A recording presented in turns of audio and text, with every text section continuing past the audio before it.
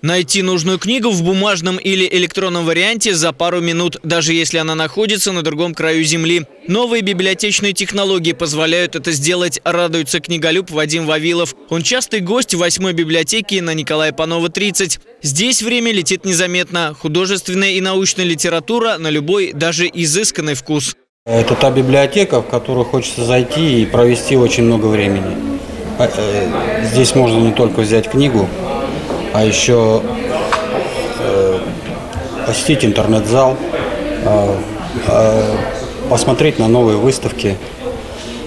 Самое главное, здесь просто хочется находиться, и здесь очень прекрасная атмосфера.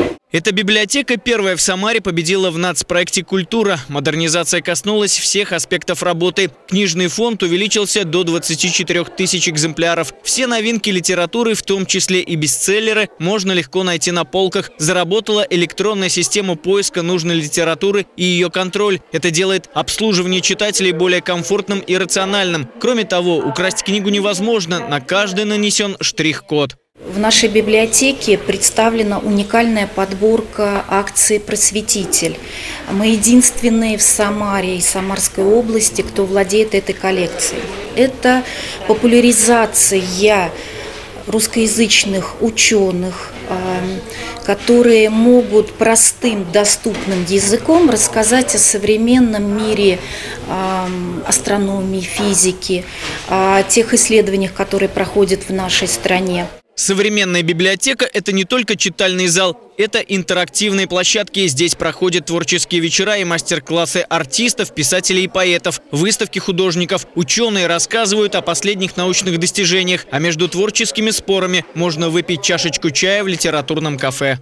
Созданы здесь технологии новые, библиотечные информационные технологии. Они просто позволяют библиотеке стать удобной, современной, комфортной. Открытие вот такой вот модельной библиотеки, а она не последняя в нашем городе, это только начало. Это ну, настоящий прорыв в нашей культуре. Чтобы встречи проходили интерактивно, а система обслуживания читателей работала как часы, в рамках нацпроекта «Культура» закупили специальное световое и звуковое оборудование, а компьютерная система автоматически создает личное досье на каждого читателя и может в дальнейшем порекомендовать нужную литературу, исходя из его вкусов и пожеланий. Еще одна услуга – короткое сообщение на телефон или электронную почту о всех новинках или по отдельным направлениям литературы в библиотеке. Эксперты уверены, классическая книга будет популярна всегда.